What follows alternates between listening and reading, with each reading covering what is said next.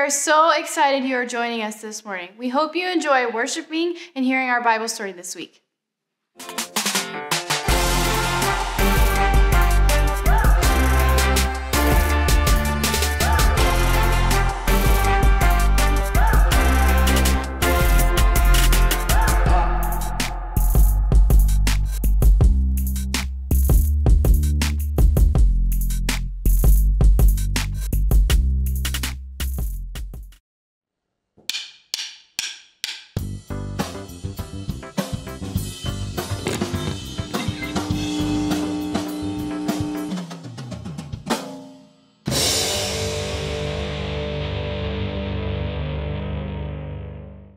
What makes you want to say, I quit? Is it one more page of fractions making numbers soup in your brain? One more time dad says no to getting your own phone? Maybe one more PE class where you get picked last for a team. One more time your sister starts the fight and mom blames you. One more broken promise. One more dropped lunch tray. When tough things pile up, it is easy to give in and quit trying. But truth is, you were never meant to push through on your own strength. God knows every single hard thing you're walking through. God knows every moment that feels like just too much. And God offers to carry those heavy burdens with you. When you take one step and another and another, you find that God can plant seeds of hope inside. Call it nerve, backbone, spirit, pluck, tenacity, grit. Each time you give it another try, when you sit down to study again, or head back out to the practice field, or choose a good attitude instead of slamming the door, you build the muscles to push through. You rest in knowing that God holds the end of your story. God will give you the power to keep going. As you refuse to give up when life gets hard, others can see God at work in you. That's why grit is an amazing way to worship God with your life, because worship is about more than just singing loud, it's all about living loud.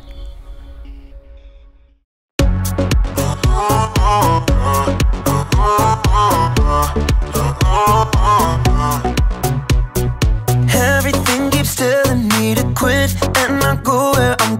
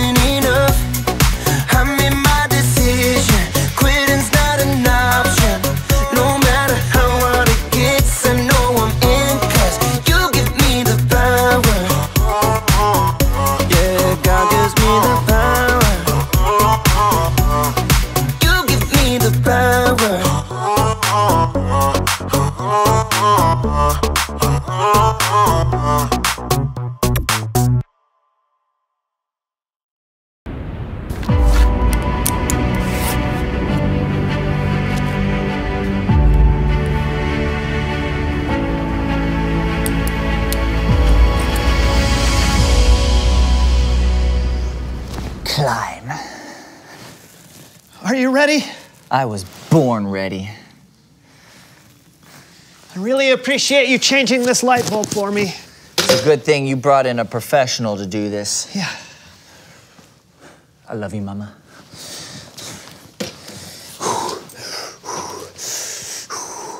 All right. Righty, tighty, lefty, something. Oh, uh oh. Oh no. Ah! Ow! Mm, Brandon, a little help? Please.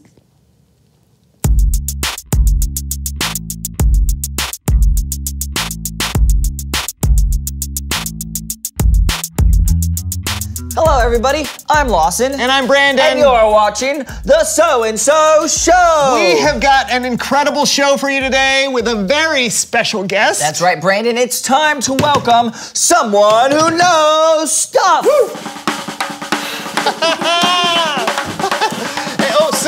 see you again, Charmaine. Oh, I'm glad to be here. Of course, you need no introduction, but just in case, please tell the audience who you are and what you know. My name is Charmaine, and I'm a singer. Uh, Could you give us a little bit of your, your history? Sure, I started off as a background singer, but then I decided to start writing music of my own, and I had a little hit song. a little hit song. It was huge. It played everywhere around here. Would you, would you, now we hate to put you on the spot, but do you think you could maybe sing a little bit of it for us? Why not? Oh, this is great. I love this song. Oh, yeah. Oh, yeah. There it is. yeah, yeah. Mm.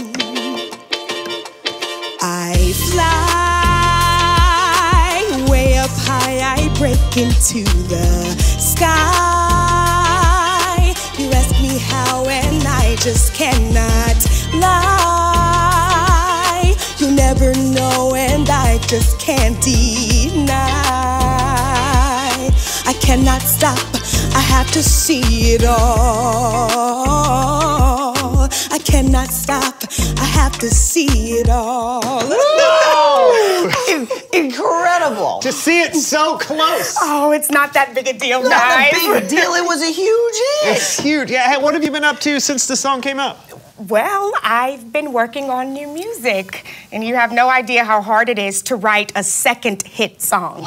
Well, do you want to try some on us? Sure. Why not? Okay, um, cool. Here's the one I was working on today. All right. All right. Yeah,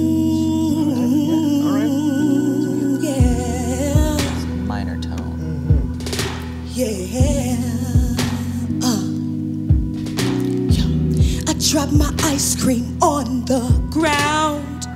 My coat is still in the lost and found. I don't know what the next word is, but it's something, something, yeah. That, that was. There is a song I mean, there. I, I think it. It. was- Um, Well, you're you're not that into it, are you? no, it's not that. It's. It's. I, it's. I just it's, think that maybe. there's Well, a- then of it's this okay. I get it. Oh, how about wait. this one? This is good. Okay. Oh, oh, yeah. All right. Okay. yeah. Nice. Where? What? Where? Where? Where? Yeah.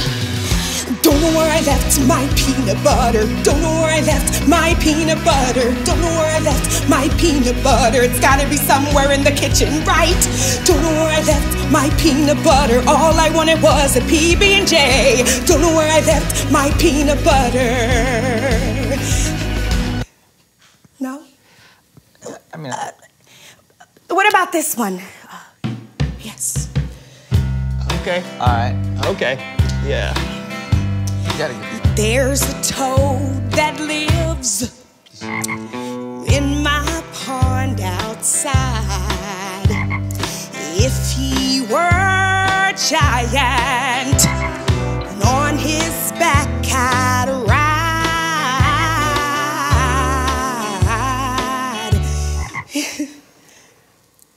what about this one? This is the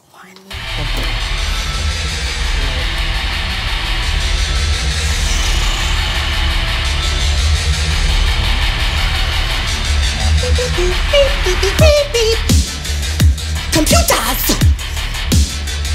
Computers. Beep beep beep beep beep. Computers.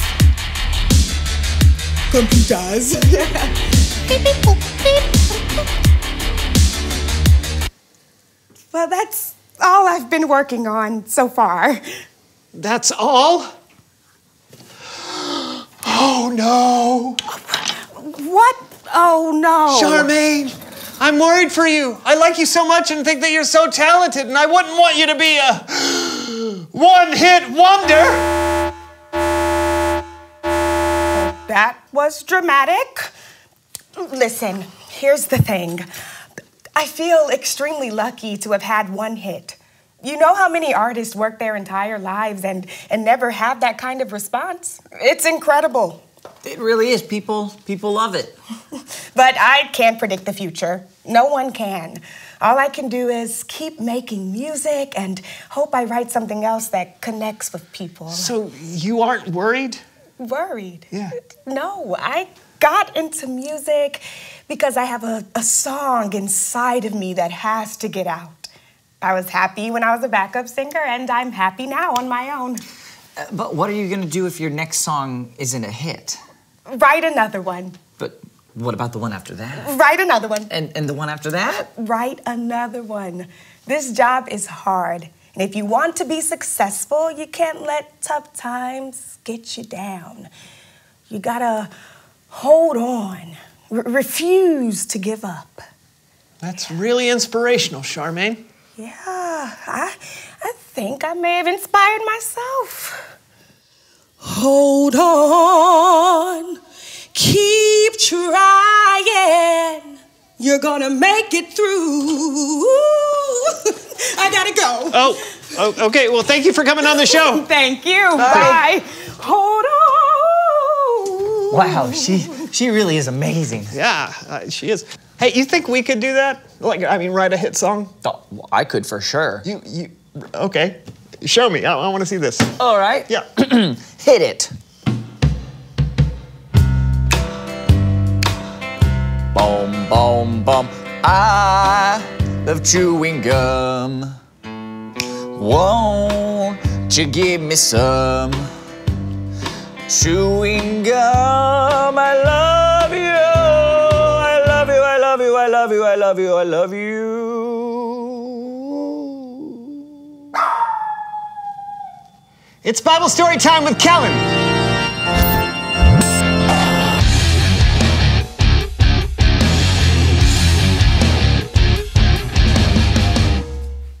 Hey, hey guys. Um, listen, unfortunately, something has come up and I can't be with you all today, but don't worry, everything's fine. And I don't want to leave you all high and dry. So I asked my good friend Cameron, and he's going to take over for me today. All right? Take it away, Cameron. Hey, fellas. We're trying to write a hit song, and uh, it's really hard. Any advice? Um, sure. Write about what you know. Great.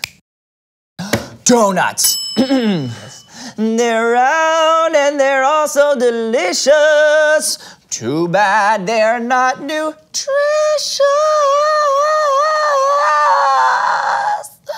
I ran out of breath, but you know what I mean. Yeah. What are we talking about today? Uh, Today, we're talking about Joseph. Ooh, awesome. Joseph, Mary, baby Jesus. I love this story. Wait, is it Christmas? I didn't get you a present. No, actually, different Joseph. This Joseph is from the Old Testament. Okay. Joseph was one of 12 sons of Jacob. Joseph was Jacob's favorite son, which naturally made Joseph's brothers jealous. That's right, and so much more. What was that? We're going to learn all about Joseph on today's episode of Make It to the Top. Welcome to Make It to the Top, a game show where our contestants have to climb the mountain we call life to see if they can make it to the top. I'm your host, Vanna Valmont, and today our contestant is Joseph. How are you, Joseph? I'm great. Thanks, Vanna. Um, yeah. Okay, so Old Testament Joseph's on a game show. Could be fun. So, you were your dad's favorite son out of 12? Pretty impressive. I know. Dad showed everyone I was his favorite by giving me a coat of many colors. Whoa, looks like you're on your way up. It's true. Things were looking pretty good for Joseph. His future was very bright. He even had dreams of what his future might look like. Tell us about your dreams, Joseph. Well, I dreamed that my brothers and I were tying bunches of grain out in the field. Suddenly, my grain stood up straight, and their grain all gathered around mine and bowed down to it. So, wait, you were like the 11th son, so that means that 10 of your brothers were older than you. Whoa. And you dreamt that they all bowed down to you? Yeah, and I had another dream. The sun and moon and 11 stars all bowed to me. What a bright future! You're gonna make it to the top of this mountain in no time. Joseph was having a wonderful life, but like I said, Joseph's brothers were jealous of him, and it wasn't long before they came up with a plan. When Jacob sent Joseph out to the fields to see his brothers, they were waiting for him. So you went to see your brothers. Yeah, I just wanted to see how they were doing and see how the flocks were doing. I was just walking along, not a care in the world.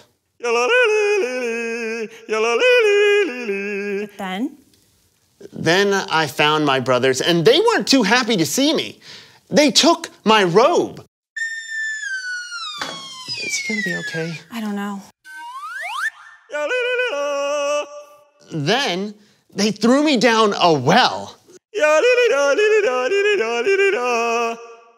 And then they sold me to some slave traders and told my father I was eaten by a wild animal. A tough one for sure. Joseph was sold to a man named Potiphar, one of the Egyptian king Pharaoh's officials. But get this even though Joseph was enslaved and far from home, the Lord was with Joseph. Joseph, you fell pretty far. I'm so sorry. How about tell us about your time with Potiphar? Well, actually, I did okay. Potiphar really liked me. He put me in charge of his house and everything he owned. You're heading back in the right direction. Keep on climbing. But then, But then, Potiphar's wife asked me to betray him, and I wouldn't do it. So she convinced Potiphar to throw me in prison.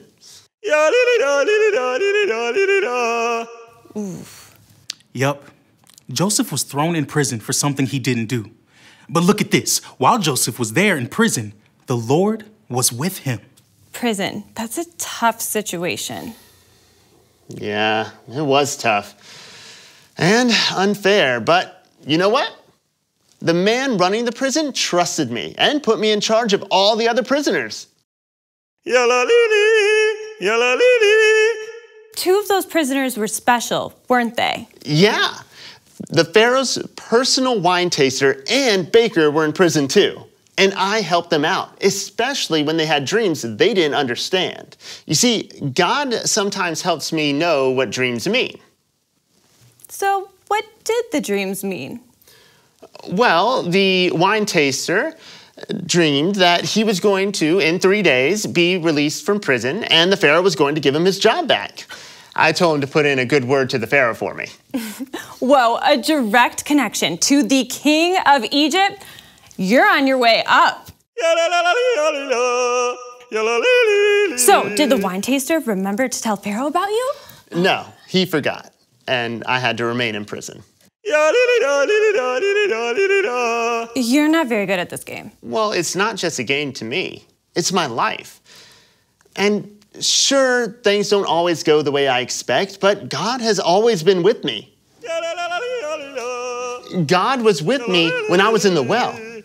God was with me when I was enslaved in Egypt, even in prison.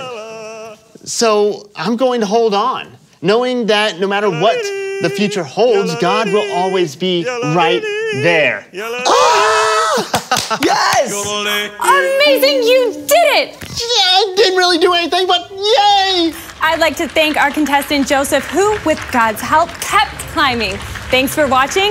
Make it to the top! What happened to Joseph was scary and unfair, but his story doesn't end in prison. We'll hear more about Joseph next time. Oh, cool, a cliffhanger. Yeah. Joseph just kept going, didn't he? He did. Remember, Joseph wasn't alone. God was with Joseph no matter what he was going through, just like God is with you and me. All of us will go through our ups and downs in life. And sometimes we just have to hold on and believe that God is there with us. Really great story, my friend. No problem. See you next time. Cameron tells stories that are really, really great. Better than a donut on a big ol' big ol' plate.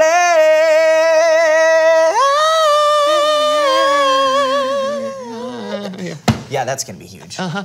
Reveal the question. Today's question is what helps people get through hard things? Oh, let's see. Talking to friends, family, maybe even a counselor or a grown up you trust. And you can talk to God when Oh, you're yeah. going through something hard. People can get through hard things by taking their mind off the problem, reading a book, playing a game. Or writing a song. right.